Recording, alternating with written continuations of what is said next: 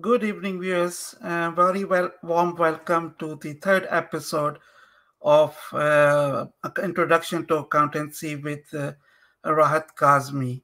Um, my name is Tauseef uh, Sarwar, and I'm your regular host, uh, which we do a series of uh, different um, online courses as well as interviews and latest news about the drop shipping and digital marketing. Uh, today, as you know, that we have um, already hosted two episodes of uh, of introduction to the accountancy.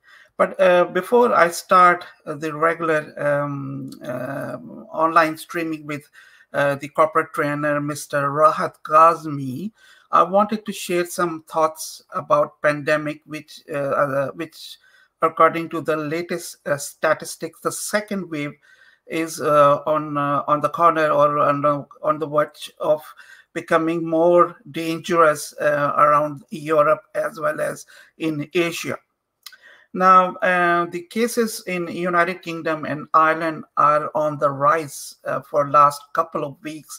And in fact, in the United Kingdom, I was just viewing the Sky news that they are the highest at the moment since the March of this year. So um, we have some lesson to learn here, a couple of lessons, in fact, to learn here. And one of the lesson uh, we need to learn um, beforehand is that this uh, pandemic disease, we need to take it more seriously. And uh, when I say more seriously, we need to show more responsibility.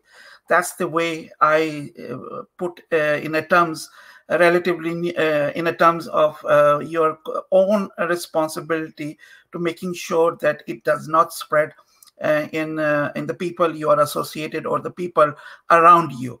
And that, that's that's the simple message everybody's telling um, these days. But what i'm uh, trying to say here is that since this pandemic um, we have learned one thing that it might not uh, be easy uh, to survive here and we might need to do lots of things or a combination of things to survive. One of those combination of things to survive um, is uh, uh, beside the showing the responsibility is to learn a new uh, trick and trades or uh, learn a new uh, i would say professions now, it's very hard uh, to learn a profession when you have passed certain ages there, but age should not be a barrier. Uh, I've seen a lot of uh, people, including myself, that who are uh, who did uh, like I did my research in, um, in late 40s, and that's quite normal in Europe uh, to do it. And I did my ma third master's in late 40s as well a couple of years ago. So it, it's kind of uh, you have to understand what's uh, what is best for you, what suits you, and how you want to do it. Like uh, the vision is very important. So when I say about the vision, uh, the vision is that what you need to do it in order to survive this situation. This situation, uh, I'm not an expert uh, or, or, I'm not a doctor here, but what I can see from the statistics in, uh, especially in United Kingdom and Ireland, it's not going to go away. This situation is in fact getting worse. So when this situation is going to get worse, and we need to adapt accordingly. What we need to do is that to learn new professions there. For example, like I said that in my uh, episode two with Rahat Kazmi uh, um, last week there, uh, I was mentioning that a lot of people uh, ask this question, and not only from Ireland and UK, but uh, also from Pakistan, India, and Bangladesh, especially the people who listen to me very uh, carefully or would listen to me every week there, my live stream there. That uh, what we need to do uh, to in order to survive there, and I tell them, um, and my answer is very simple and blunt, and that is, you need to understand what is your uh, strength. You need to find out what is your strength. So when you know what is your strength, for example, if you know that you are good in numbers or you're good in mathematics or you are good in statistics there or you're good in accountancy, try to find out short-term courses and the courses which are available online. Try to get them and uh, i know it's it's very difficult sometimes. You have a mindset there. It's not an easy job. Uh, i totally agree with uh, with the audiences there. But you have to uh, you have to make sure that your mind itself is uh, switched on to learn something new. There is it's never too late in your life to learn something new. For example i haven't done uh, drop shipping uh, in, um, in last uh, recent years there. But since the change of pandemic there my focus was on drop shipping and especially the drop shipping of ebay and amazon there. Now there are quite good number of people in india and pakistan who are teaching amazon drop shipping or fba amazon there. This is something you can learn very easily. You don't need to have a, a, good qualification there. All you need to have a good common sense uh, to learn those old uh, tricks there. So um, when i say uh, you need to uh, know about your strengths. I'm sure everybody knows my strengths. For example, I'm not good in mathematics. I bluntly accept that. Mathematics uh, is not my uh, favorite subject there. I'm not weak in it, but it's not my favorite subject. But having said that, I still studied the artificial intelligence, uh, artificial intelligence and machine learning recently. I did learn Python as well although I, in by heart, I didn't like that. But in order to understand uh, the artificial intelligence, Python or a, relatively a new um, language R is the more uh, important component of um, uh, learning the machine learning or artificial intelligence. So you need to uh, adapt. The message is that back on your strength and try to understand what is uh, your your uh, uh, strengths there and then um, uh, find out what is best for you. Now, I would always recommend that do your homework before uh, adapting a new line. Um, I, um, I, had a recent uh, example of my house that for my daughter who wanted to do a corporate law. Now she's very much focused on doing a corporate law, and she had in this mind for last six months while she was doing um, A level or Leaving Cert that she is something uh, she likes very much. Um, she's good in argument. I'm just giving an example, a thought process there to corporate law. She did not got admission um, in uh, business and law because for corporate law you need to have a, a good line, uh, rather business and law rather than straightforward law or LLB.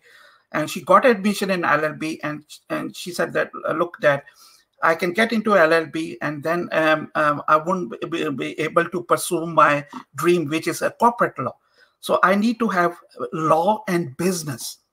And I asked her, why you want to do law and business? And she said, look, I have a better chance in case something goes wrong in later stages. So I would have law and I would have business. So I can either uh, take law or either I can take business or a combination of law and business is something like corporate law.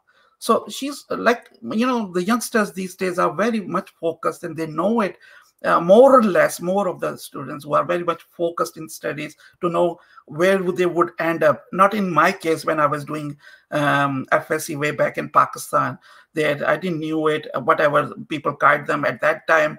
MBA was all over the world. Uh, everybody was talking about masters in business administration, and people were talking about them. And everybody, um, all the friends said, "Let's do MBA." We did MBA. Let's do MP, uh, public administration. We did it.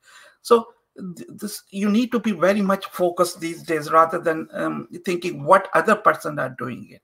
You have to bank on your strength there. Rahat kazmi i think so is uh, in the, stu- uh, in the studio. Uh, today we are going to uh, finish this three part episode of introduction to accountancy.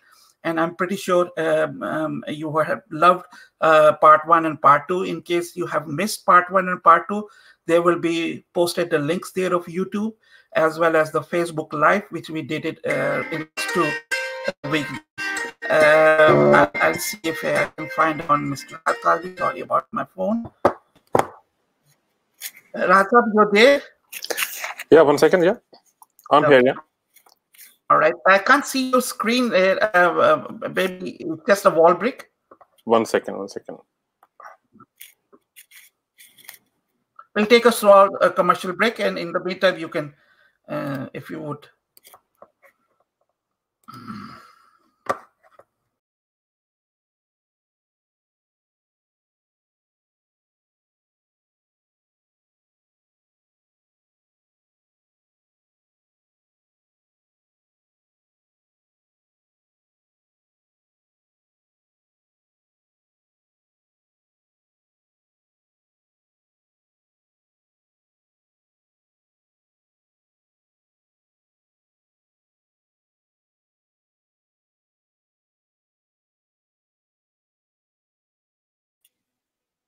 Rahat Bhai, you're back there. Uh, how are you today? Oh, very good. Thank you, Tauseef Bhai. Uh, I would say, you know, a friend of mine sent me a message earlier on. Mm-hmm. And he said, Rahat, how was last seven, eight months? I told him, you know, thank God that I'm, I'm really grateful to God that we are alive in 2020. That's correct. If, you save yourself from this pandemic, mm-hmm. you're very lucky, man. You save your family by being mm-hmm. a responsible person. You're very, Mm-hmm. very lucky, I think. So I think That's- it's better is to save yourself, save your Mhm. family, don't do anything silly, don't do anything stupid, follow the government guidelines. Yes. That's the best thing to do. that's the best message uh, i think so as being a, um, a trainer or instructors or online people we can give it to our audience be safe and once you are safe then you can protect your family your loved one your people around you so that's a sort of a uh, responsibility we use a term corporate responsibility but that's that's something bigger than that you know Well, anyone who has a job, I think, they then they will also be playing a role in corporate responsibility because they will also be looking after their colleagues. that's you know, right. sometimes a person might think I'm very healthy, I have no, you know, anything serious, any other diseases, so I'll be, I'll be, I'll be okay. But then they don't think about any other anybody else they meet in the family, for Mhm. example, little kids, elderly people in the house, some colleagues they work with, you know, and so social responsibility will be, or corporate responsibility. If they work somewhere, they need to Yeah. look after other people as well who are working with them. That's correct. Yeah. Okay. So are we ready to start the part three, the final episode of three part series? Yeah, let's check, please, uh, if we, if our screen is shared. Let's make it a bit bigger, please. Let's make it a bit bigger. Uh, you would have to do it. How to do? Okay, fine. Let's do it then. That should be good size, I think. Yeah. Yes, that's correct. Then maybe we can recall it from first two, and then we'll move on to today's, if that's okay with you. One second. One second. Okay. Basically, uh, let me just go back. Okay. But first of all, I'd like to thank everyone who has taken part in first two series and they've joined us today again. Uh, because idea was to make sure that you all uh, understand the fundamentals of accounting, what accounting was all about. Most people, when they hear the word accounting, they get really nervous. You know, they get really afraid. Oh my God, what the hell is that? You know, it's rocket science. No, accounting is not rocket science. I did try, and I'll try again this uh, third series as well to try my best to make sure that you all understand the concepts in an easy, in layman's or dummy language. You know, because you know, it just that's the best way you can explain to them. so when when we started the first series, we talked about what uh, uh, bookkeeping was and what accounting was. So then we talked about types of accounting. In of accounting in series two, we talked about you know uh, financial accounting, managerial accounting, tax income tax accounting. So these were basically tax accounting. We talked about them. And then uh, my intention was to in episode three to talk about primary financial statements.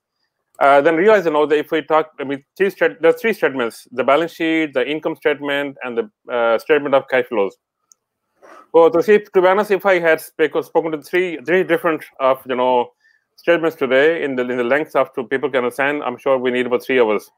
So correct, with, yeah. permission, you know, I like to focus on one today, so it's better that people can understand. That's and we correct. can do Yeah. other, plans, other programs for them, you know, later on to go through income statement and the statement of cash flow. Sure. Will that be okay?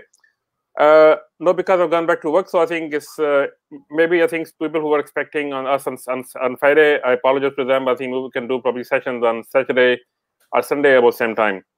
So as long as the people are flexible, we're flexible. So uh, should we go on? Should we start? Cheers. Please go Okay. start. So, guys, uh, let's talk about the balance sheet. Okay, the balance sheet, as the name says, balance sheet. Balance sheet has two sides, and both sides should always balance. If they're not balanced, that means you have done something wrong there. Okay, so balance sheet considered the most awesome creation of the human mind. People will ask why? Because you know it's considered because it has an accounting equation. It's considered equally good as uh, you know the energy formula which was uh, designed by Albert Einstein, the German physicist. He said E, e equals mc squared. mc squared, basically, you know, he said energy equals mass of the body times uh, speed of the light by twice. Speed of light times two, or speed of light uh, squared. So this is as important as that. The accounting equation is as important as energy formula. So in in balance sheet, the equation uh, quantity equation is, is basically is assets equal liabilities plus owner's equity. On left hand side of the equation, we have assets. Assets are what? Assets basically we can see them, you know, in we can touch them, we can feel them, they're tangible. But when it comes to other side of the equation, where say liabilities and owner's equity, so we need to when we have liabilities, basically liabilities are what? Liabilities are what when we create assets, when we collect assets. Sometimes we, if we use our own money, that becomes owner's equity. If we use money from a loan or some, you know, some finance, that becomes a liability we have to pay back. We go through in, in detail in assets. You know, assets basically we, assets are quite few few types. So every time we cannot buy all assets in one mode of payment. We cannot buy everything by ourselves. Sometimes we have to go to banks. Sometimes we have to go to some uh, you know investors, and they help us around. And then we basically record everything. Okay, balance sheet has is not a new idea. Balance sheet has been going on for more than seven thousand years. But no, I think in modern balance sheet we have to record everything. Everything we do, everything, any transaction we have, as per the which which relates to balance sheet, we have to record it down. All right. I think earliest people who used balance sheet was ancient Mesopotamians. These guys, they were farmers, for example, and the farmers they recorded everything with, uh, you know, like for, example, farmers they they wrote down the cows they bought, how many cows they had, how many sheep they had, uh, how many sort of tools they had to sort of farm. So everything they did, they also recorded down where they bought it from. At that time, they used uh, clay tokens. You know, as we discussed in in in, in part one, clay tokens were at that time they recorded with them different shapes of clay tokens they recorded to uh, write down or maybe uh, keep count of what was they bought. And then later on, it went on to clay tablets, you know. and of course, these days we have tablets like Samsung tablet, Apple tablets, and so on and so. But that time, people also did something. They also had record of everything. So basically, uh, understanding assets is no rocket science, guys. It's simple as that. Okay, so if, if farmers as seven seven thousand years ago could keep a record of that, I'm sure in the modern day day and age, in 2020 or 2021 uh, coming very soon, we can keep record of what we bought and how we bought it. Every time we buy an asset, we have to write it down. We have to make sure we record it, that you know where we got the money from to buy it. We need to make sure we record in the in balance sheet. We bought an asset. Why did we buy it? We need to write it down. Every time we buy something, we need to write down exactly the source of the of the asset, source of financing. Did we buy ourselves? If we bought ourselves, that becomes uh, an owner's equity. If we bought from a loan, or finance from somebody, that becomes a liability because we then we have to pay them back. Okay. So guys, in the two sides of a equation, the first side of the of the on the left hand side is assets, which are the real world, the real world thing. We can touch them, we can feel them. You know, assets, for example. Uh, so see where you're sitting there, the chair you have sitting on the chair, the desk in front of you, uh, you know, the mic maybe, the laptop, etc everything in your house, they're all your assets. Same as well, in, in where I'm sitting as well. Everything, anything you look at, you feel in your house, which you bought it, they're all your assets. So assets are as simple as that. Anything you bought to use now or for future, they're all assets. Okay, so they are tangible, you know. But then second question is, on second part of the question is, where did we buy these assets from? Where did the money come from? Let me give you a simple example. I think some of you, or most of you, which which are probably married, they have kids let's say you have a small kid, you know, and a, a toddler, four to five years old. So let's say you come back from work and you knock on the door. The toddler opens the door and you know they start jumping and dancing, you know, to see you because they're so happy to see you. You climb them, you know, so hold them up, you know, on near your shoulders and you lift them up. And then you realize, you know, while you're holding it, they got 50 pound note or 50 pound euro, 50 euro note in their hands. And of course, you'll be happy, you know, you see they, they're holding an asset, but you will also be surprised and you might ask question, okay, son daughter, you know, where you got this money from? Where you got the 50 pound note from. Because from four years old, five years old, you won't expect to hold them 50 pound note in the hand all of a sudden. You need to ask them where did the money come, money come from. So similarly, balance sheet is just as that. You know, we need to explain we bought an asset, where did it come from? So we need to if if we if we bought ourselves, that becomes our owner's equity. And if we have basically purchased it through uh, loan or finance or credit, that becomes our liability. Now let's go through in detail about definition of assets, what assets are, and we'll also go through some examples of assets. Definition is resources in a business, either controlled or owned by the business, which will provide future benefit. Okay. Sometimes we don't own, a, own an asset, we lease, for example, you know, some businesses will have maybe company vans, company cars, and they don't want to buy it, they just want to lease it. So by leasing as well, because you for the time period you agreed to lease that that, that asset or that product, that is your property, because you are responsible for it. You had to pay them the value for it. If if you lose it, you have to pay the full value. You lost it, you bought it. That's how it works. So until that time period, lease property lease property is also owned by you. That's also considered as your asset. Of course, the difference is if you bought something, let's say even on finance, and after the the period of finance is gone, then becomes your property. But lease property, lease items, lease car, lease van will have to go back to the lease provider. Okay, it, it will now become your property. But during the uh, the time of the lease, it'll stay as your property. It'll stay in your asset side of the balance sheet.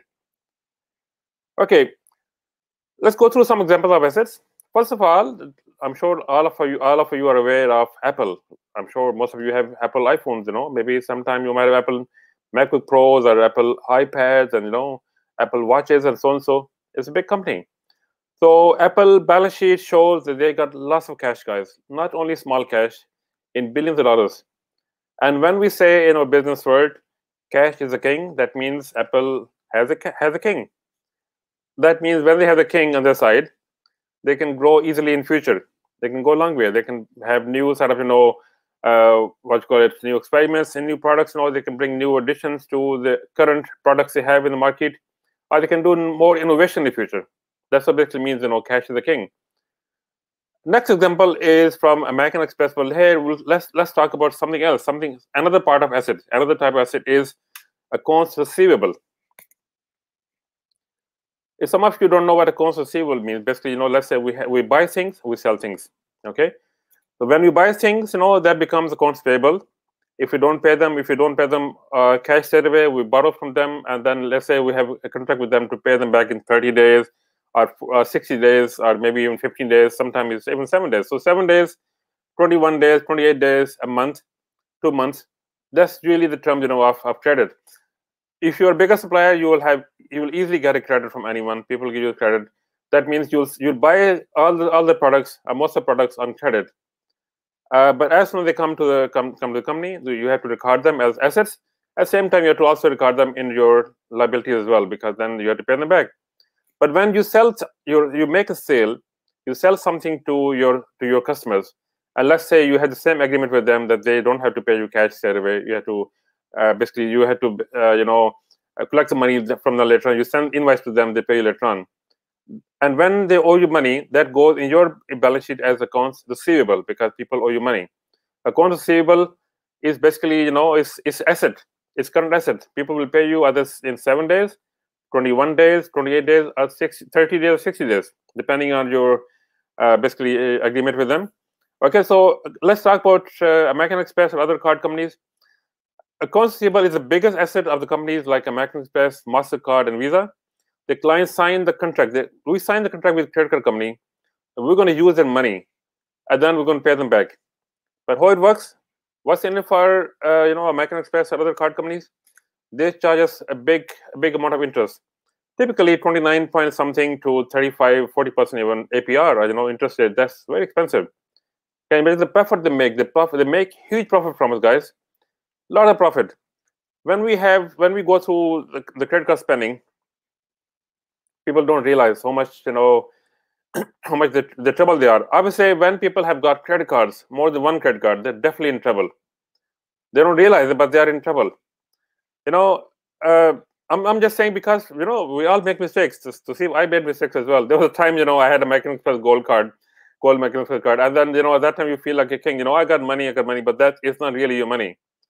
You keep spending money, then you have to pay it back. And sometimes, you know, if you don't do your job, then you're, you're stuck there and you have to go through all the different you know procedures of paying the debt back and you go into lots of financial difficulties. So these companies they will sort of lure you into it you know. They might give you initially let's say 500 euros 500 pound of credit. You pay them back straight away then they give you 1000 pound or 2000 pound goes up to 5000 10000 it goes up.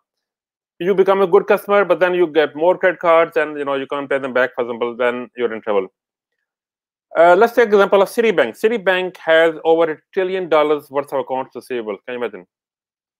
A lot of people owe them money. Okay, trillion dollars. Uh, I, don't think Pakistan has even that kind of budget in the year. Uh, or even smaller countries like Bangladesh or, or Nepal, etc. So trillion dollar, one company, American Express, you know. So see, a long time ago, in back in 1995, my dad came to visit me in UK. It's only time he came, and then uh, he passed away in 2009. When he came, I took him to Oxford Street, and we looked at some, you know, big stores like John Lewis. We saw, we looked at, you know, uh, Selfridges, and he says to me, if you have, if you own a store like this, you don't need to be prime minister of a country like Pakistan, India, Bangladesh. You're well off. You're, you're better off without, you know, mm. being prime minister or even in politics.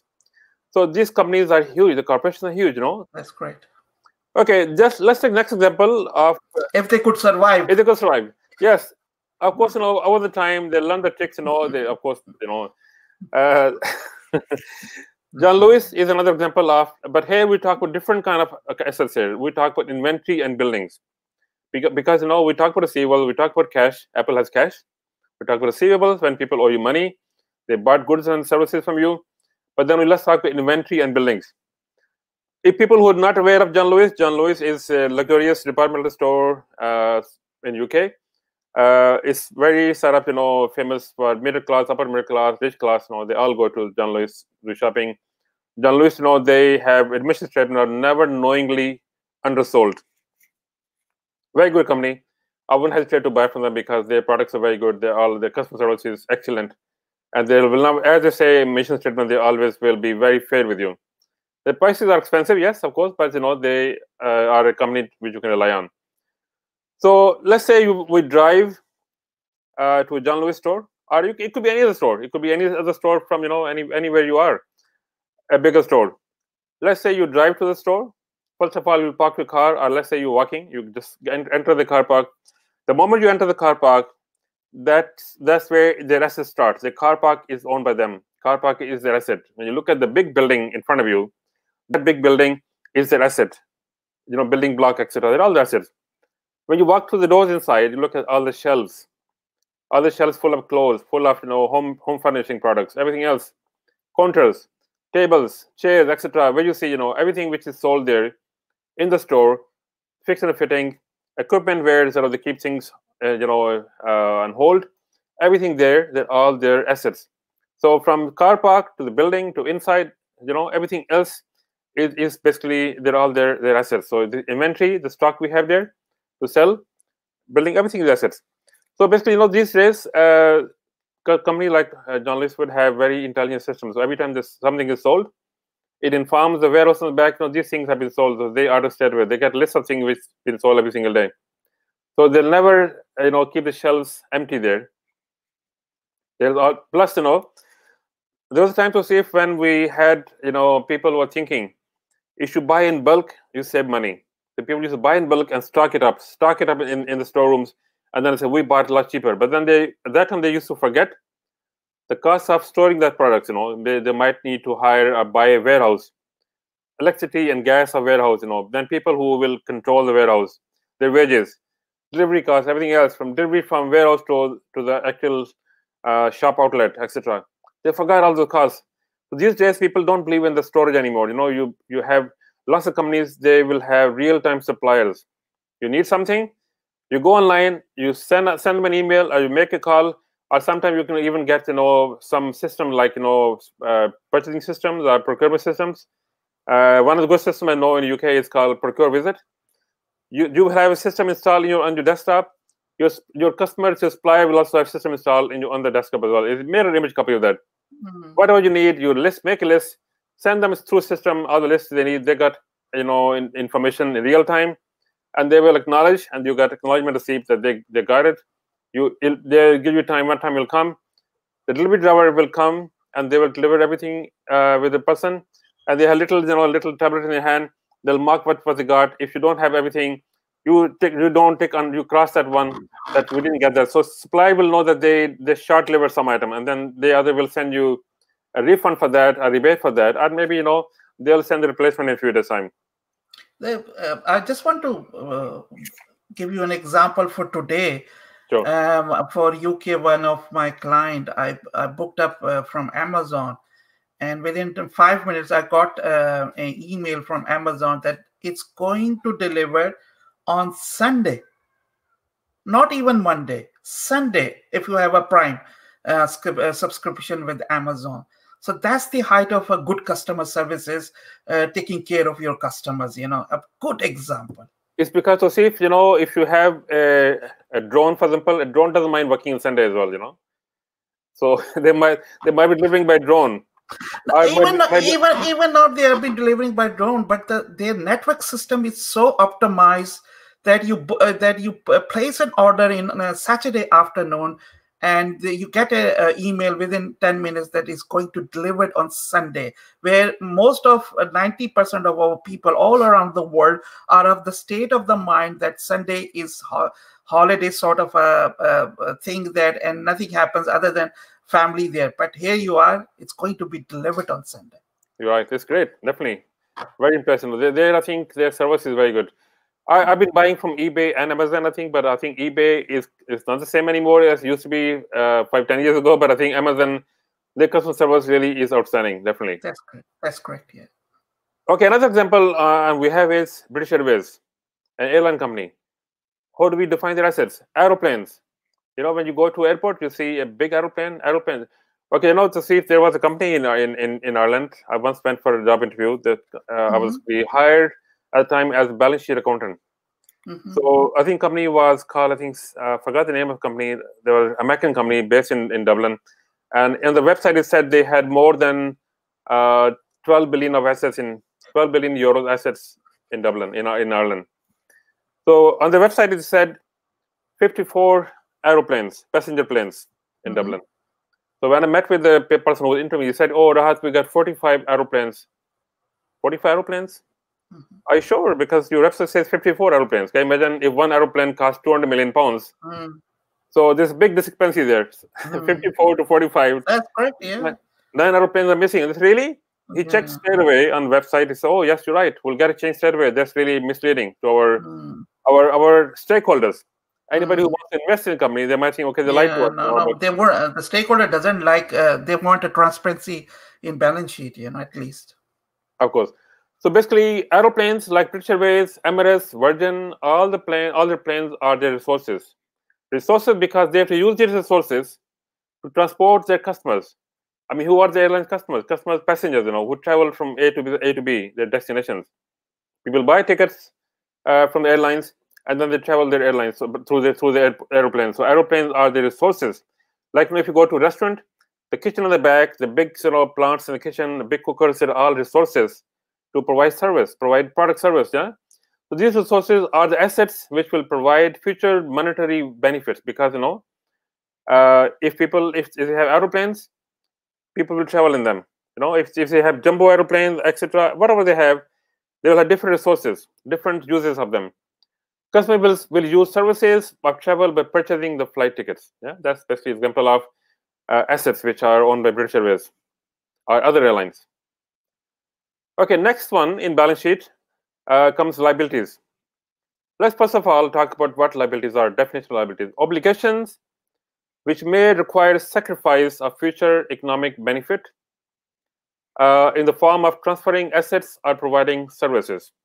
When we say economic benefits, economic benefit, if let's say uh, we, we're just talking about, you know, basically British Airways, if British Airways taking passengers from one place to other place, they are they are basically sacrificing their their petrol costs. They're they're sacrificing the wages of the people who manage the plane, the ground staff, you know, the people who will come and clean the plane, catering services. So they're all sacrifices, and sacrifices because people will pay them in return. So when when we have liabilities, liabilities could be you know that we could have two kind of services from people. One is product, one is service. Product is basically when you sell something in physical nature. And service is when somebody has given you some time for example you know if uh, i work somewhere as a, as a corporate trainer or lecturer my time my time is is my service. My service basically is given in time. As we say time is value time is money. My money is my time. So basically in that way you know guys services are like that yeah? So services provide we provide services we, we provide products.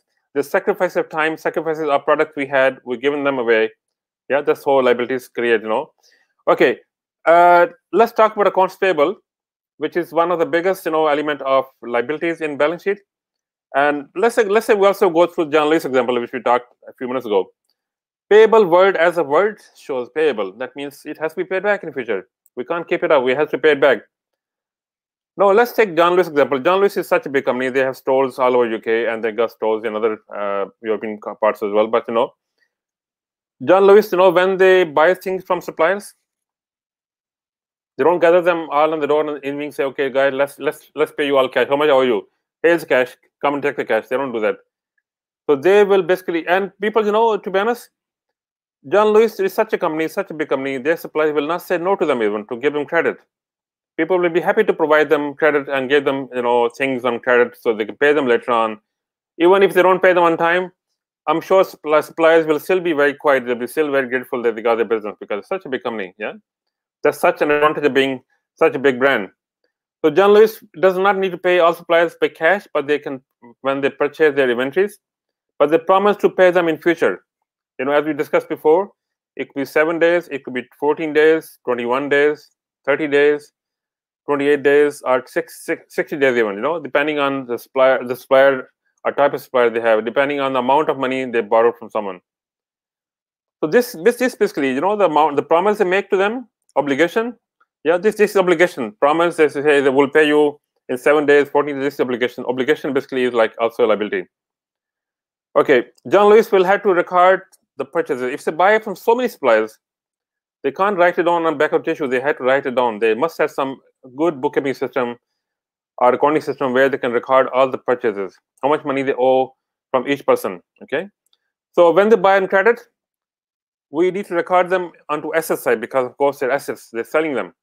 Of course, when they buy some item, they will sell into uh, sell the item as, as profit.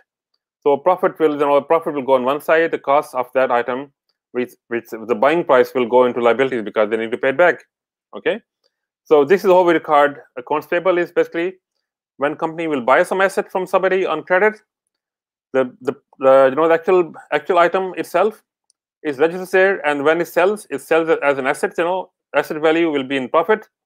The cost difference between the, the selling price and the buying price, that will be profit. And the actual buying price will also be uh, recorded into liability side. Uh, so is anyone asking questions or in live audience or something? Please, you know, if you see anything, please let me know that I can go through as as we go along. Because let's talk let's talk about another type of liability. Another type of liability will be wages payable. When it comes to wages, guys, you know, just like uh, uh, John Lewis, British Airways will not gather all their ground stuff, all their you know sort of uh, air stuff. You know, come guys, let's let's pay you all. How much were you every day? How many hours do you work? It won't happen like that. Actually, I don't know any company who does it, apart from maybe a local corner shop might do it. But I think all the bigger corporations, you know, bigger companies, they will have a set system of payment. Or pay, payroll will be other monthly, mostly monthly because it's easy, it's convenient. Uh, but some service companies might do a weekly payroll because let's say they have lots of turnover, they might have some lots of casual staff, and they like to pay people. You know, if they can't hold, uh, they can't wait for the money for two weeks, they might pay them every week. But every week is a headache If you pay people every week. You have to go through the same process of you know going through uh, paying everyone the wages, working through all, uh, you know their hourly uh, hourly count every, every every week, and then record them, send uh, send a file to bank to pay them all, then print their wage slips and P45s, Leaving Certs, and all that. So it takes long time. So I think most companies will do either bi-weekly, which is two weeks, or monthly. Okay. So British Airways will not call everyone to pay them cash in hand. I'm sure they need to have a good system so guys, wages are always paid in arrears, okay? They're not paid on time. They're not paid you know, on, on daily basis. So they're paid in arrears. Let's say a person goes to work for 30 days to see if, and in 30 days or 31 days of the month, every day the person goes to work and comes back from work, he has earned uh, income for that day, but not been paid yet. They'll get paid after 31 days. End of the month, they get paid for it. So they earn the income, but not get paid. So because they earn the income, that becomes liability for the airline to pay them back. So that goes into every. So that's why we call it wages payable. Every time you know the people work, the whole staff. It could be admin people, could be even rank and file, could be uh, team leaders, supervisors, managers, line managers, head of departments, C-level people, everybody who works for the company. The wages, wages which have not been paid, they become a liability, or wages payable by the company to uh, to. So I think British Airways is just an example. You can have any company you work for, you have worked before. You can think about that as an example. Every time you didn't get paid till the end of the month, your wages to them were your their your liability to them. They had they owe you money for that. I I think so. This uh, weekly payment system or fortnightly payment system is much more common in uh, UK, Ireland, and probably some of the countries of a European Union. But uh, in Middle East and in Pakistan and India, for a matter of fact, and Bangladesh and all majority of Asian countries, it's monthly rather than weekly or fortnightly. To be honest, I, I prefer monthly because monthly is like easier for the for the company. You, you know, you're doing payroll in. Uh, it can really sort of make your life easier. You know, when I mm-hmm. worked in, you remember when you, when we I used to do some get-togethers in uh, Carlton Airport hotel. That's right. Yeah, yeah. I worked for them at that time. They had seven hotels uh, in in the country, and in seven hotels we had one person who was doing payroll, and that one I mean, each hotel had three people there. Okay, one was uh, accountant, that's financial controller. Second person was assistant accountant, and third person was a clerical admin. So I, I was their group auditor, so I basically go around to different properties and help them, support them in, in many ways I could. So the person who was doing payroll, they would take two days, complete two days. Every hotel had probably 100, I think, staff on average.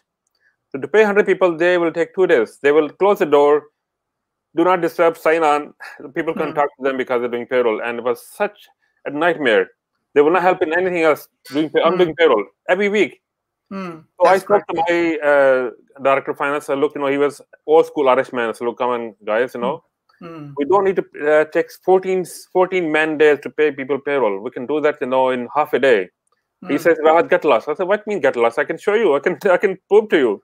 Maybe just because you haven't seen it, you haven't heard of it, that doesn't mean it doesn't, it doesn't exist. I mean, modern America can show you where, where it comes from." So I hmm. call a company who could do payroll for them. At that time, they uh, there was a company called Quantum Payroll. Mm-hmm. Quantum Payroll guys were, I think they were ex uh, Sage Payroll guys. So they, they yeah. Sage, made company called Quantum, and they at that time, you know, back in let's say you know 2009 and 10, 8, uh, not 2007 or 7, 8, I think. At that time, they made a system which was very much Excel based. You can you could do payroll, you could export, you know, a timesheet from Excel into X, you know, from payroll to Excel, mm. fill all the number of hours in. It had name and everything, you know, the rate, of, pay. You just fill hours in and import back in. When you import back in, save it, payroll done. Mm, so I did the first payroll in the head mm. office. I think it took me about six hours mm. for, for, seven hotels, let's say 700 people or stuff. Mm. And then we hired somebody. We trained this lady. She first time she did was I think two thirty or three in the afternoon, and mm. then she could do everything by twelve o'clock lunchtime. And everything was done. Mm. Can you imagine we did all the work in half a day mm. instead of 14 man days, you know, which used to take before. I know, yes, the Sage is quite popular in Ireland. I'm not sure about UK, but uh, definitely they are the number one payroll um, processing software. In, Which one? Uh, Sage. Sage. Oh yes, yes. Sage, you know, Sage. The reason Sage didn't didn't prosper that time because Sage was not very flexible at the time when I was there. Yeah. But no, I'm sure other people who left Sage, they made their own companies. Mm. They must have woken Sage up as well. Come on, guys, do something. Be more creative. Be sort of more, you know, sort of yeah. open to changes. Yeah, no, they are very quite popular in Ireland. I'm not sure about the United Kingdom regarding the uh, payroll processing for Ireland. Definitely, if I say they are very popular. You know. No, Sage, Sage also is very popular in UK for small and medium enterprises. Uh, they all use them for bookkeeping. Uh, for bookkeeping, yes. A Sage yeah. payroll is part of bookkeeping. You know, it's, it's sometimes it's built in. Some could buy Sage payroll separately as well. That's correct. Yeah. Okay. And another example of liabilities is, uh, let's say, taxes payable. Okay, I'm taking the example of British Petroleum at BP. BP, as you know, this British company. Uh, you can take example of any other company we should know of. You, you worked in it, maybe you heard of them. Their taxes are liabilities. So if you don't keep paying taxes, they, they keep ending up, and then they become quite quite complex. It's better for a petroleum company to keep paying the taxes as they go along because taxes are basically a liability which sits on balance sheet uh, of, of the company. So BP will have much more complex, a bigger taxing uh, accounting system uh, to deal with tax because they will have various taxes. They've got taxes in the form of property tax, sales tax, import tax, export tax, you know, all these taxes from different countries, different taxation laws. For example, if they're working in UK, there are different tax, uh, corporation tax rate if they work in Netherlands, they will have different corporation tax. If they working in Ireland, they'll be they'll have No hunky dory, easy peasy. You know, twelve and a half percent tax is a lot easier. Is working in Middle East, they will have different taxes to pay in North America, South America. Of course, so all these complications they have to deal with them as one company. So there are different systems. They'll have tax teams, you know, tax teams working for them, uh, and tax team will be specialists in dealing with tax matters. So, like wages, of course, British, British Petroleum and BP will not pay tax to taxman, you know, cash in hand. They'll have to sort of register everything uh, in their balance sheet and pay them through tax returns. Tax returns, you know, whenever the, it's depending on which uh, which country has when tax return is due, but in UK and Ireland, I think it's, it's every two months you have to you know, submit your tax returns. But in, when it comes to corporation taxes, you have to pay. Uh, you, government will give you extra ten months after your year is finished because they'll give you time to sort of balance your year and etc. and make sure you get no lesser. You recover all your money because tax, as we discussed in part two of this uh, course, uh, government doesn't expect you to pay taxes as you earn revenue. Like you know, the people who are working in the job, when they come home from work, they have earned revenue, they have earned income, but they don't get paid until end of the month. So similarly, as as as a business, you might earn revenue, but you know you don't get paid for it until you get paid for it. Government will not ask you to pay the pay taxes. Okay. Another example of liabilities is uh, long-term debt. Now, this one I'm going to, to see. I'm going to talk about really very very weird example. Okay. Uh, most of us know when it comes to long-term liability. Long-term liability basically is you know when we say short-term liability short-term liability could be you know banks overdraft could be you know maybe uh, somebody we need to pay them back in uh, within a month's time up to a year let's say let's say up to a year. But when it comes to long-term liability long-term liabilities they start from two years to five years time 10 years time. If we if it's you know equity loan etc it could even be 15 to 25 years time. But here we know that some companies like you know coca-cola and uh, walt disney they issue bonds for 100 years 100, 100 years. They've taken loan from companies for 100 years. Can you imagine? You know, 100 years loan. You know, we don't even live that long, depending on you know where you live. Your average lifespan, you know, could be 60 years, 65 years. But those companies don't think like that. They might think, you know, our company set up 1857, 1840 something. It was owned by their great grandfather, was passed on to grandfather, then passed on to their dad. No, they're they're they're running it, but then they they want to leave this to great grandkids even, you know. So for them, they like to look at the benefit of the company, benefit of the, of the corporation instead of you know okay looking at the short term short term side. They don't have short term oversight. They're looking at they're thinking outside the box. How the company will benefit? Of course, 100 years is a long time. That means when we have loan for 100 years, it would be quite expensive. But then what the hell? We have to pay that in 100 years time. So it's, it's not a big deal, you know, 100 years time. So similarly, uh, what, what to say is, you know, if we take mortgage in the house, mortgage really is you know depending on your age etc 15 to 25 to 30 years time. So let's say to see we bought a home on mortgage uh, let's say 300000 euros. We had cash in hand we paid 50000 euros as deposit or down payment. So 250000 euros over 25 years time roughly speaking will be will end up paying more than 500000 or 600000 euros back to them. 25 years time mortgage I'm sure 100 year loan, 100 year mortgage will be a lot, lot more expensive. But if you have to pay them back, uh, because you know, for example, Walt Disney, you know, they had uh, agreement. This is this agreement, 100 years bond started in 1993. So this will mature in 2093, basically. But if they were able to pay in 30 years' time, which is 2023, they can still pay it off. That means if they pay in 30 years' time, they'll be paying a lot less interest their their cost of capital, the cost of loan will be a lot cheaper if they had paid in 100 years time. But they had option there. Option is they can pay back in, in 100 years time if they want to. They can pay pay back in next century easily.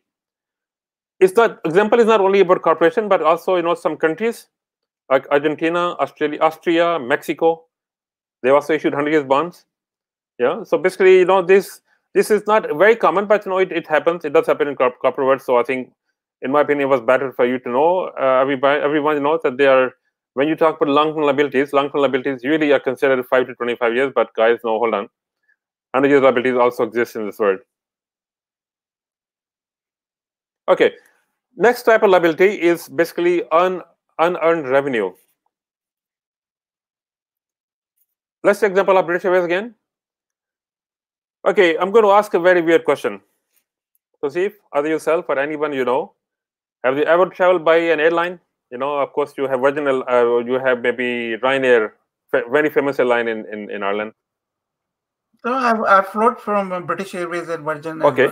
No, I mean, I'm okay. I'm sure you have, but what I'm saying is, very famous airlines in in Ireland are other Aer Lingus and and Ryanair. Or any other, Ryanair, yeah. Ryanair. Aer Lingus or any Ryanair. other airline you can think of. Have you ever traveled by an airline? You you book airline, you made a booking, you didn't pay for the pay for the booking. You travel, you came back, then you paid them at the airport when you were leaving. You pay, okay, hey guys, I travel, I just came back. Here's the money, cash or credit card. No, it's all at once. It's all at once. So no mm-hmm. airline will accept that. No airline will will That's let correct, pay yeah. afterwards. They always mm-hmm. ask money in advance. Mm, Sometimes pay money even in a year in advance. That's correct. Yeah. Yeah, you know, I was, when I moved to Dublin from from Amsterdam, as you remember, at that time, I, for a year, my, when my wife was living in Dublin, I uh, Ireland, uh, you know, in, in Amsterdam, I used to go back every every weekend. Mm. I used to come back Monday morning from Amsterdam to Dublin and go back on on uh, on Friday evenings. Mm. So for the whole year, you know, I took I think 48 flights at least. Mm. So I knew all the Aer Lingus pilots, you know, when they landed, you know, what what kind of landing they had. Each pilot I knew the names. Okay, this pilot today we got, you know, Seamus. Okay, Seamus. Oh, terrible parking, terrible mm. landing. Okay, mm-hmm. somebody else, you know, maybe we've got some, you know, uh, Lionel. Lionel is here. Okay, Mike. Lionel, he will have, you know, very good takeoff. So I knew all the pilots through the landing and their takeoff. Uh, so, yeah. So basically, I used to book flights in advance Hmm. Four to five weeks in advance to get the right value. Otherwise, you know, if you had booked the flight day before, yeah, you get a good value if you book in advance. Yeah. yeah. So basically, what happens you now? Your advance payment for a service which you have not received yet, it becomes obligation or liability to the balance sheet. So if we, hmm. we book a flight, let's say we book a flight for uh, three months in advance. Hmm. Uh, let's talk about Aer Lingus or Ryanair. We booked a flight to Ryanair or Aer Lingus. We paid for it in the balance sheet, our money sits as liability. Liability, so they mm-hmm. owe us money. Mm-hmm. They need to, of course, if they don't provide the service which they promise, they have to give us the money back. Mm-hmm. So to sort of digest that money, or that money, they have to provide us that flight which which they promise. They need to take us from destination A to B where we need to go, where we intend to go. Hmm. Yeah. So this this is basically very normal. You know, they had to do that. They, this is they had to take us to desired locations. Okay, next, uh, let, let me talk about one example here of airlines. United Airlines, they have collected $3.4 billion from people which they have not provided flights yet. Mm. I recently had a weird experience with uh, with United Airlines, not personally myself, but my wife. Mm. She was supposed to go to uh, California through New York from, mm. from London.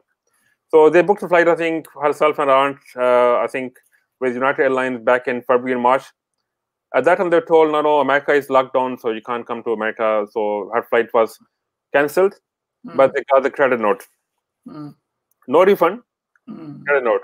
I was going to say the same thing, but you just snatched words out of my mouth there. It happened to my wife as well. She booked for Pakistan, and um, twice she booked it, and uh-huh. they are all keep on saying you have can have a credit note, but no refunds there. You know? See, this is a gimmick. You know, they want to keep the money because at the moment they're not very busy. Hmm. And they want to keep because when they keep the money from you, probably they, they are operating. Uh, they are operating on lost as at the moment. Most of them are, but see if they give you hmm. money refund straight away, that that means their cash flow is in trouble. Trouble. So they don't mind keeping your bad bad cash flow, but they they like to keep themselves. That's correct. Yeah. So basically, my wife, you know, she had tried to cancel in February, March, mm. and she booked again uh, about a week ago. So basically, when when flight booked, so she's very happy. She basically spent all time, you know, unpacking her bags and everything. You know, she also uh, did the ESET, you know, visa online from American uh, from American immigration. ESTA, ESTA. ESTA, ESTA sorry, ESTA was yeah, all done. Mm-hmm. Uh, it all came back okay. You know, of course, you know, if people don't know what ESTA means, ESTA basically, you know, it's not like same as India, Pakistan, where you have to go to embassy and send passport through. Uh, maybe it's uh, a, it's a it's called a pre pre-screening uh, of the EU national peoples there who are based in EU. They don't need to get a visa, but they need to do a pre-screening so that's called ESTA, EST. You fill a form online basically, right? That's right, yeah. Read it, mm-hmm. everything, purpose of visit, and then they approve it. So, you know, amazingly, her ESTA came back approved as well. Visa was approved, airline gave, gave the ticket. So, we thought everything is fine.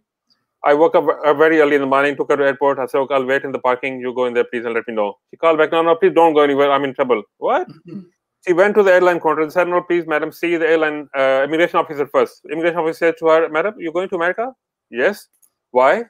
I mean, why? I'm going to see my family there. Mm. But you can't go. We're in lockdown. She said, in lockdown, you are locked in, in March. We're still in lockdown. But you know, why didn't you inform me? Mm. I mean, why didn't you inform me? You come and she said, I applied for ESTA visa. Mm. You guys approved my visa. You could have said to me, no, you can't go. You could have refused my visa. Then I know Mm. that there's some, something wrong. I spent all evening yesterday, you know, packing my bags, came here, and then airline she airline when I booked on airline uh spec airline website, Mm. no window popped up. No, I'm sorry, madam, you can't go. Only these people can go. Mm. You know, I had to go to Canada to uh, you know, my my mom died last year in November, so we had this my mom's first death anniversary. So I had to go there as well in November. Yeah. I realized when I went to their site, realized, you know, you can only go either you're son of someone, daughter of someone, wife of someone, spouse. That's uh, It's only- if you are blood related there. Uh. I mean, I saw sibling a little bit. My my family lives a sibling lives there, but I, I could not go because you know I know. Yeah, no, they they, they make it uh, uh, uh, as vague as possible because they want to take your money there. And then having said that, they also say that it's your responsibility to check with the airline or the website from time to time. You know, they put uh, everything burden on your shoulders. There. you know when you call airline, they say everything is on website. So when website doesn't show everything, so basically, That's correct. Yeah, it's hidden, hidden information. yeah, you know, being I don't think this is you know social good corporate social responsibility from yeah, I know- understand that, but they are all in trouble, you know, um, um, more or less because uh, it's not of uh, themselves, but uh, because of this pandemic situation. So they're just trying to, um, you know, survive in the difficult times. That's what And they're trying to everybody's do. in trouble to see if no even people in trouble. Yeah, I understand. I understand that. Yeah, It's fair on people as well to put all the burden on people. That's Don't correct. get Yeah. money back. I said, no, we'll give you a refund. We will give you credit note. Travel again with us. You can't get money back. That's So correct. that's yeah. also not fair. Funny enough, it like I was telling, it happened with my wife. She bought one time with Etihad credit note, and she said that okay, let me try another airline. So she tried with the Turkish, and in the same case, uh, another credit note. So that you know, it's the same story. I said, why you wanted to try another thing there with another line? She said that might be I would be able to uh, travel there. You know, I'm sure she could be travel now, but she doesn't can't travel now because she has her own work uh, obligations at the moment. You know. Of course, of course. So can you imagine United Airlines, they have $3.4 billion money collected from people which they have not provided flights yet. Flights 3.4 yet, yeah. billion. Imagine this? It's a big money. It's a big chunk of money. It's it's good amount of money. So guys, this was unearned revenue. Examples were for unearned revenue. That means until they provide flights, this money will not become their assets. This is still a liability. Okay, until they provide flights, this money will not transfer to their asset. It will not become their cash. Although they got cash in the hand, but this money will not show in the balance sheet on the cash side, on asset side, until they have provided a flight. Hmm. Simple as that. Okay, next thing in balance sheet is uh, owner's equity. Okay, we talked briefly before, but uh, let's so let's go into detail. First of all, let's define what owner's equity is. The amount the owners originally invested in the business and the profit they have left in the business, uh, which is also known as retained earnings, ownership interest in the company's assets. That's all owner's equity. Basically, let's say we have two uh, owners of a business people who invest the money in the business initially. So this this will become the percentage of ownership in the business, a percentage of interest in the business. If they all are equal partnership, 25% each, that that means they will have 25% interest equally, all partners. If one person only has 30%, other people have, let's say, uh, three partners, 20, 35 each. Of course, then will be interest will be 35% for one and well, 30% for one and 35% for two other. So basically, generally, generally speaking, the two ways we can buy assets for business. You know, we can either borrow money from somebody.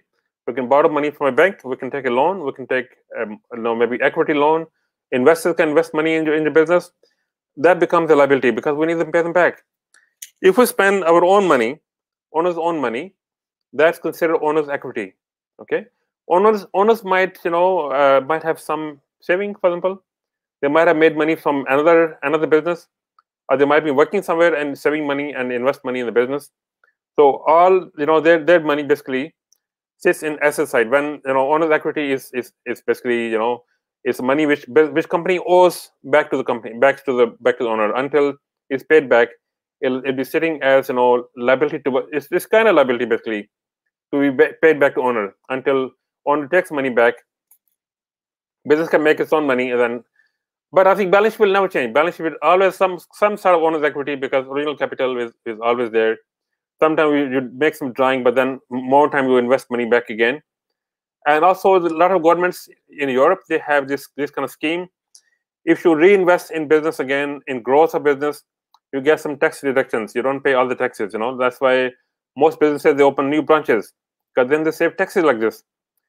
Okay. Uh, owners equity also has other names. Also, it's also known as uh, paid in capital, capital stock, capital contributions, all these names, if you hear any of these names, this basically means owner's equity. So this is one one form of investing, guys. Okay, when invest in business, investing in business can only be cash, can only be owner's equity, or can only be basically liability. Basically, you know, when you borrow money from someone, when you borrow, when you use your own money as the owner's business, that is owner's equity, or it could be capital stock, capital paid in capital. Yeah, those, those all kind of names. Okay, another way of investing in, in business is basically uh, which business generates income is makes profit. Obviously, the income when business makes profits or income, all these belong to owner. Owner of the business. So owner can do basically what they like with it. They can you know go crazy. You know they can treat themselves. They can maybe go on to a luxurious holiday in a yacht somewhere. They can buy a sports luxurious car like Lamborghini or something. Okay, we made profit. And if they take the money out, they pay themselves. They are considered as dividends if they are clever, they are intelligent, they like to they like business to grow, they can reinvest the money in the business, which will be considered as retained earnings, you know, and then basically money will be reinvested in business, yeah. So so they, they, they can make more money in future. Or they can even with this money with the reinvested, they can buy either new building for the business, new equipment, new shelves, new sort of uh, fixing and fittings, anything basically to enhance the business performance. Let's say you know we take example of uh, PDQ machines. A PDQ machine where you pay with credit card. I was working for Giorgio Armani, and they had two hotels in London uh, back in you know uh, about late 90s. At that time, London Metropolitan Hotel, this they had the, the credit card system in their uh, in their what you call it uh, keyboards, you know, keyboard for for computers. Uh, in the keyboard, basically, you know, you basically you you slide you slide the card through on the front, and you used to take the money. Uh, and then at that time it was quite fast. But before that, you know, when we went to PDQ machine to pay a, a shopkeeper, and the PDQ machine will say dialing, and look at again after a few seconds, say dialing, dialing. It used to take an average of two to three minutes. And then by the time you paid it, there'll be long queue behind you. But can you imagine if a company, if another company you go to, another shop you go to, and they have a very sophisticated machine, you touch and go, you know, touch and go, and then in two seconds, payment has gone through. You say, that's right. You got a reservation number. You're free. Will you go back to again where it said, darling, darling, or would you like to save your time and go somewhere where? Yeah, it's it's all about uh, merchant solutions. So this is how we need to reinvest money in, in business. So business looks good in front of the customer's eyes. Customers these days, you know, they are very choosy because there's so much competition, guys. So we need to make sure we enhance our business. We enhance the way business is run. Okay. Okay, so see, I think uh, we already done more than an hour. Uh, can imagine if we had covered two, two other financial reports as well, they'll be taken forever. So we can do yeah. one at a time, I think. So I will say, any questions, guys? Any question anyone has? Is any post there? If you have not before, most, most of the people, most of the people are saying hello, hi, rather than asking a question, but that's quite normal. You know? Okay. If you think of a question later on, guys, I'm more than happy to answer the question for you. Leave me a note there under the under, under the video link and I'll be happy to answer you or maybe send you a message back, you know. Uh, we also got so, some social media links as well. You can send us message there if you like. Thank you, Ratsa, for today. It was a very enjoyable session. At least I enjoyed it. And um, at the time, there were 25, 30 people watching at the time. I'm sure they would have enjoyed as well. It was quite informative and it was a quite revealing for me as well after such a long time, uh, after being away from accountancy uh, studies there, you know, for the years there. Uh, my domain is a digital marketing and artificial intelligence, but never said that you're never away from accountancy. That's the way you practice every day, you know. See, Tauseef bhai, I actually had promised, you know, that my course will even be understood by housewives. If somebody is housewife, they also will be able to understand it. It's not even you know somebody who has self-made person or even one solo trader, sole trader will also be able to understand it. It's not difficult though. That's People right. are just afraid of it. I thought you know it will make it so simple. I mean, and you can understand how it is. Because most of the time when you own a business, you have to do most of the things yourself. Yeah, I know that. And we do it every day. It's just that we have to be uh, proper organized in accountancy, like you said, that uh, have a proper system. If uh, you don't need a sophisticated uh, software or a sophisticated uh, computers to do it, you can just do it. Um, there are plenty of good apps available on your smartphone these days. You know. Excellent.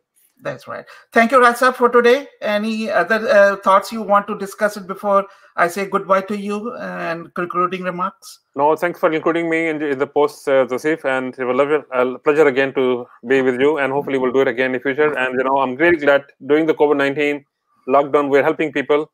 We make we know, of, we, we're at least being useful to them. That's correct. Yeah. Um, all the audiences who are listening and who had listened part one, part two, and now final part three uh, of that. The, uh, the thought behind uh, delivering this course is to get uh, you some information. I know most of us uh, are not inclined towards accountancy. That's uh, that's all right. it's it's a very specialized subject. But having said that, it's it's a it's something I discussed in episode one that it is uh, a career uh, to recognize or career you could uh, for especially young one who, uh, who have done just recently a levels or Leaving Cert in ireland that uh, uh, we these days have a lot of a pressure those i'm mean, talk about we i'm talking about the young students there that you know you need to go to do the uh, uh, the mbbs like a doctor or you have to be uh, the do the biomedical the sciences these are very quite gone. Or even for the matter of fact as i gave an example of my daughter uh, in law and, um, and business there or law itself there. These are the quite four or five there uh, domain. And then another domain which is is a software engineering. But having said that there are plenty of other domains there which needed to be explored. Accountancy is there i don't know how many years a million years uh, before people used to do so like rahat Saab explained very detailed that how used they used to do the accountancy. It's not a new thing. The only thing is that no firm can survive without an accountancy practices. You need to have a proper accountancy practice. And when you need a, accountancy practices for yourself for your um, uh, what you say the stakeholders as well as for the government then there is a need of an accountant and when there is a need of an accountant there will never be a shortage of uh, this profession in life that's my thought process any concluding remarks uh, before we say goodbye to the viewers yeah so see basically what i like to say you know if uh, so accounting has two uses. One use, if you are an accountant yourself, you're working, uh, providing a service. But another other use is if you are a business owner, if you understand basic accounting, it'll definitely help you to understand your reports. If if you have an accountant working for you, you can still see at least the reports there. You know what, what's going what's going on. You can you can read financial reports and make sense from them. If you're working in a company as marketing, for example, or maybe in HR, you will have to come across accounting because we deal accounting on daily basis. You know, personal life too, and also in in business life so this course will help people, you know, to make sure they understand, they have some understanding, some sort of logical sense in their mind of what basically, you know, things, how things work. So they won't be totally afraid of it, you know, when they see some report of accounting, oh, no, no, I don't know. Keep it away from me. They can at least understand and they'll make sense from it. That's the whole idea to bring this course in. That's right. And from all of us, uh, from Creative X and Being Guru, one thing I want to do is that we will keep on um, uh, give, giving you from from the uh, from the efforts of the experts uh, some new courses the next course which i have uh, online course in my mind is a lot of people asking me i want to have a help with my cv or curriculum vitae or resume. So this is something i'm working out at the moment there with a couple of people there. I'll see with rahat saab as, as well because he's a corporate trainer.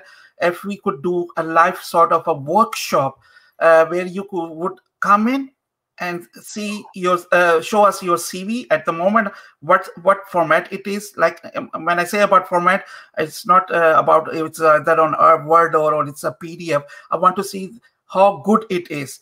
And then we will help you in that workshop to correct your cv to a level where it is acceptable by a majority if not all of the good uh, or corporate organization. Thank you very much there I'll, I'll see you next time very soon there. Thank you. Take